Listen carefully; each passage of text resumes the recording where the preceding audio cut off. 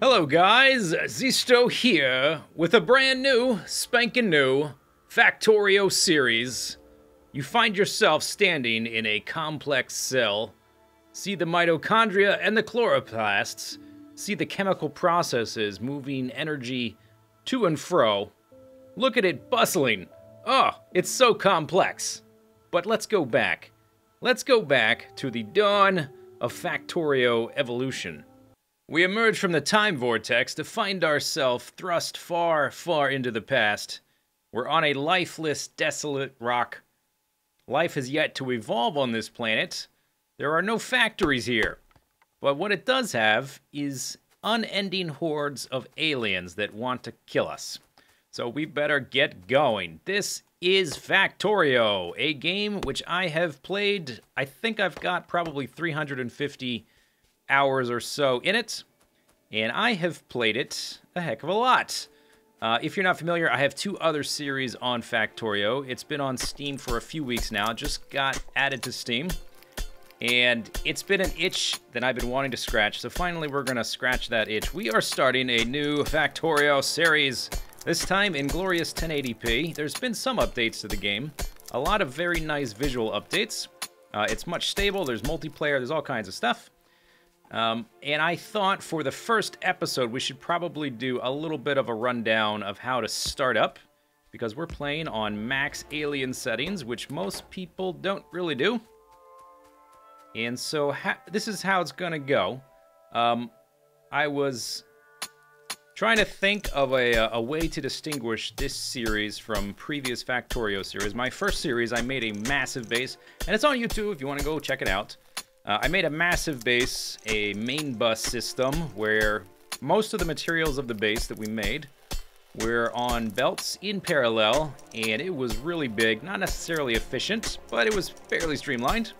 And then after that, for a challenge, I decided to make the, uh, the linear Factorio series, where I set the max height of the map to 20 units. So we had to be very creative with how we routed the different things we were trying to make.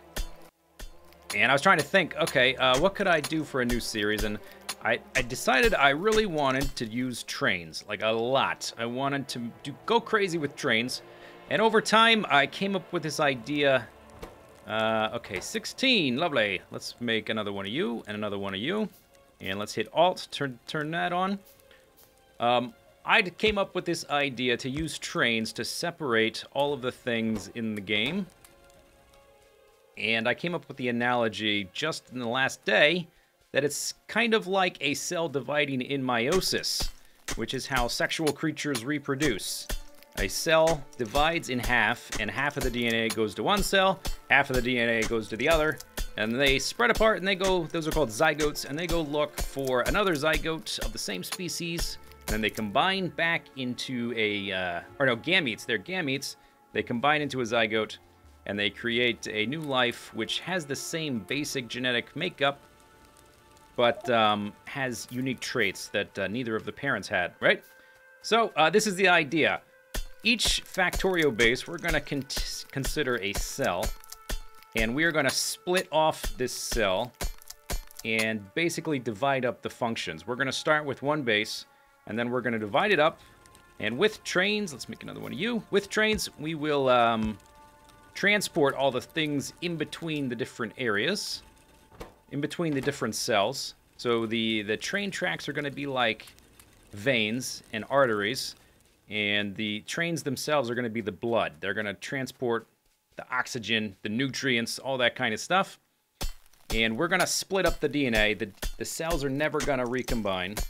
So we're going to... Okay, my pick broke. Um, we are going to Slowly but surely spread everything out until we have highly specialized cells. And this giant organism, we're to make a multicellular organism. It's, it's a kind of a really interesting analogy after I thought about it. I had this idea of doing the trains and splitting up functions first. And I came up with the cell analogy afterwards, but it really does fit pretty nicely. Okay, uh, so at this point, what do we want? We want to start mining up some stone. So for the first episode, I thought, since it's been a pretty long time since I've played Factorio, and a lot of you guys probably have never seen it and may have not even seen my videos, my older ones, uh, I thought I'd do a little sort of illustration of how to get started when you've got the, the alien set to maximum. Okay, so do that, and we want a chest. And this is how we're going to get started. Basically, the TLDR of this is that uh, the first thing you need to do is research military as fast as possible. Uh, ordinarily, you would probably want to research automation first so that you can get some automated crafting going. But with this many aliens this close to us, we definitely cannot afford to do that. We have to get turrets up as quick as possible. And this is the general sequence I go in. I go uh, three iron miners, then one stone miner, then I set up two coal miners, and then I get one copper miner, and from there we start uh, researching things. Okay, so at this point we want to make two of those, and here's a neat little trick. Here's a neat little trick. Come on. I guess we'll go ahead and give him one. Okay, so have these guys face each other. These are burner mining drills. They will drill up anything they're on top of, and they will place it wherever in the spot where this little arrow is pointing. If you put two of them facing each other, they will feed each other their fuel type, coal, and they will just uh, basically run themselves. That's the first automation we get to do. It's very handy, very useful. Okay, so then we want to control right click to do halves and then left click to drop the left. I'm control left clicking here to get the iron plates out of there. Then we want, uh, what do we want next? We want to start, well, we're going to need to get some fuel for you, but we need to start copper. Okay, let's go grab some coal. And we're basically going to spool up from here until I have about six of these iron guys, two or three copper ones, and one or two of these guys. Let's just give you that's a right click there. Six of those. Give you a few coppers. Oops, okay, you can't uh, just right click. You have to control right click unless you're in their inventory. There we go. Give you the rest of that. Go pick up some of you. We can make two more of these. And I think just to make it a little easier, so we don't have to travel around quite as much, I'm going to go ahead and expand this little loop into uh, from two to four. There we go. As long as there's one of those going, they will uh, send the coal around in a circuit. Um, you want to break things with the right mouse button. You want to access inventories and place things with the left mouse button. Similar to Minecraft, I guess, off the top of my head. Although I play that game with muscle memory, so that might not be accurate. but uh, it is uh, right click to break, left click to access like this to access the inventory just there. Okay, so um, to get a lab going, we have to, or to research, we need a lab. This thing, which takes copper, that's why we're making copper. And we're going to need a electricity setup. So we're going to need a steam engine. And we're going to need to boil the water in it to make the steam. So we need boilers. We need to get the water to there. So we need an offshore pump.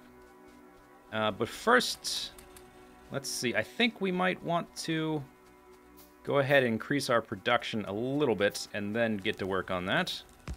Now, if you uh, if you're playing on the default settings of the game, you don't have to be this aggressive with the military. Uh, usually, you would start with usually you would start with um, automation first. And if you watch a speedrunner do it, that, that, that's of course they play on peaceful, so it's totally different. Uh, but we are not playing like that. Did I not? Oh, I did. It's in my inventory. Okay, let's go grab some more coal. Okay, now we've got four and two, or did I do five and two? Whatever. I'm going to start on the research. So we need one laboratory. Let's give you some some coal. Pick up the stone. Uh, we need one steam engine, about three of these boilers, and an offshore pump. And then we need some electric poles. Okay, so that's all we need for a very small electric setup. The uh, the lab here requires electricity, and there's all kinds of all kinds of items here. So it takes 10 electronic circuits, 10 iron gears, and uh, four transport belts. You can see all this stuff being crafted here. Later, we're going to automate all this so we don't have to do it manually. It'll be faster. It'll be awesome. Um, but you can just dig through your inventory to look at what the uh, each one requires. After that, we're going to need 10 science packs. Okay, we can go ahead and set that up. Let's do that right here. Okay. We need to feed those guys coal. Uh, let's do that. Just give it, uh, I don't know, that many. Give you that. And then open up the technology tree with T. And the first thing we want, all of this has had a graphical update. I really think the art style of this stuff is really well done. It's all been updated since last time I played. But the first thing we want is turrets. There we go. Research that. Uh, we need 10 of those. We only make 4. So I need to grab some more materials. Let me just go ahead and like do a mass right-clicking there to put a bunch of fuel in those. We need some more copper. Okay, so if you right-click on anything in your inventory, your crafting menu here, it'll do 5. If you left-click, it'll make 1. So I right-clicked once and left-clicked once, and that's going to make 6.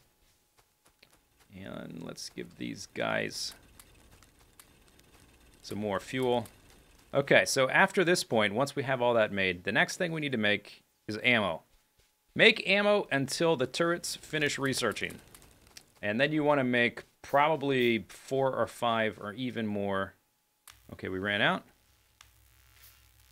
Okay, that's enough to finish the research. If you look at the research here, it says uh, time needed to research one unit in the laboratory.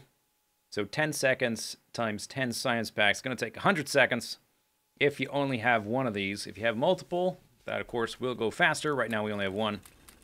Uh, but we're making ammo. And as soon as that turret research is done, all our attention is going to be towards making turrets.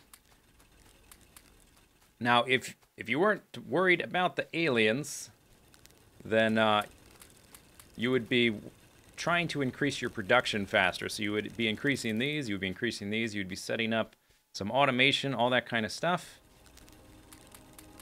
But because of the nature of this type of playstyle, uh, you need to get your, your turrets down quick. Otherwise, you're going to die. you're going to die. Uh, but you can practice this quick start setup and get it down. It's not too tricky. Uh, let's see. I guess we can just do some manual checking. Okay, let's give you like that much. I'm shift clicking to put that in there. Some of the uh, controls are similar to Minecraft if that's the thing you're most familiar with. Okay, we finished that. I'm to go ahead and tell it to do that one. Uh, but we're not to research anything just yet because we're too busy making turrets. Okay, this guy's out of fuel. So if you, uh, from here, if you shift right click, it'll, it'll dump half of the fuel in there. If you shift left click, it'll dump all of it. So it's useful to keep that in mind. When you're running by, it's control. When you're in the inventory, it's shift. But the right click takes half out, or adds half, and the left click adds the whole thing. Uh, same thing with putting things in chests. Like if I want to add one stack, it's uh, shift. If I want to take all of them, it's control. So uh, those are some hotkey quality of life type things, and you'll you should be able to find that information uh, in the um, options menu. But I think it's useful to mention it for these things. Okay, let's add some more to these. Okay, uh, our electricity system isn't doing anything right now. That's okay. Let's put down a turret. Now, I should mention that this is not my first time uh, doing this on this particular... Oh, I'm trying to put uh, coal in a gun turret. Okay, so there's one gun turret there. Let's go put one up here. I did a live stream and the base that you saw at the beginning of this video was the result of the live stream, and that's the base we're going to be using to start this series. We're going to start with a functional complex cell, and we are going to start to divide it.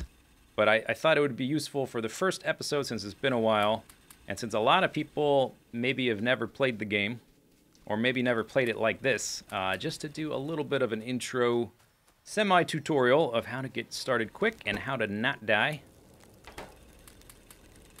Okay, so we've got uh, one turret for each little area. I think we probably want a turret there. And then we want to double up all our turrets. And we want to pay attention to anywhere where the aliens seem to be massing. Is that an alien right there? That's some kind of weird shadow. We can do a little bit of scouting. There's not a lot of wood here. There are a lot of aliens all, all over there. This up here in the map, we hit M. This is oil. Looks like they haven't quite gotten here yet, so we've done pretty okay. Put this guy here. And uh, I think that's probably good enough for this little introductory part of the video. And now let's jump back through our time vortex into the future, where complex life already exists. So here we are back in our complex cell. Isn't it magnificent? Actually, it's fairly cramped. It's not optimal, but it has a lot of potential. It's about to divide. But before we can go into meiosis and split our DNA off, I love this analogy, we've got to fight off a nasty wave of bacteria, which is trying to uh, basically feed on our energy, aka eat us. We've got to kill all these aliens down here so we can take over this iron pad because we need to mutate a new adaptation, a new adaptation for survival, we need trains, which are going to be the veins and the blood of our system. And we need a place to manufacture that. So uh, what did I just do? I'm doing follower robot count because that's pretty useful right now for what we're doing. Um, we need a place to manufacture trains. When we take over this expansion here, this is only going to be about manufacturing train stuff, and as we split, we'll specialize more and more, but first things first, we need the trains. So let's see, how many uh, dudes can I use now? One, two, three, four, five, six, seven, eight. Uh, looks, wait, one, two, three, four, five, six, seven. All right, here we go. Here we go. I've already killed some. All right, get in there and do do your business. Oh yeah, watch them melt. Watch them melt. I uh, I did some small modifications to the base after the live stream. It was mostly just to um, get some weapons getting made. I got a combat shotgun now. In fact, we could switch to it. Bam, bam, bam. I've got rocket launchers. Uh, they're not very fast or damaging yet, though, so I guess we'll just stick to the machine gun because I've done some upgrades on it. Now, I, I uploaded the, uh, the live stream that is the basis for this base. Uh, I need more of these guys. I, up, I uploaded the live stream to YouTube, so if you want to see how we got to this point, you can watch the live stream or just flip through it or whatever. Come get some. It's very important to watch my ammo levels. Because if I run out of ammo, I will be in trouble. Although I can, I guess now I can just switch to the shotgun. Didn't have that before. Also, watch the hit points. Oh, uh, what kind of worm is that? Hang on. That is a, that's a small worm. All right, we can handle a small worm. Okay, out of ammo. For that one device, anyway. Now, I, I am, uh, I'm also making laser turrets, so I could just chain the turrets around, but doing it this way, mono aim alieno Every once in a while is pretty fun. Bam, take that. Get wrecked, aliens. Oh god, oh, all my guys died.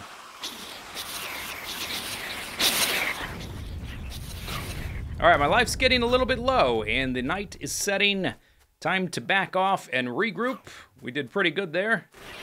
I've got a, uh, a lot of turrets here getting made. We're ready to wean ourselves away from ammo.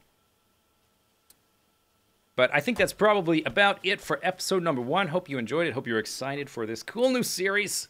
Um, and if you're interested in the map I'm using in the settings, you can find the exchange string in the description.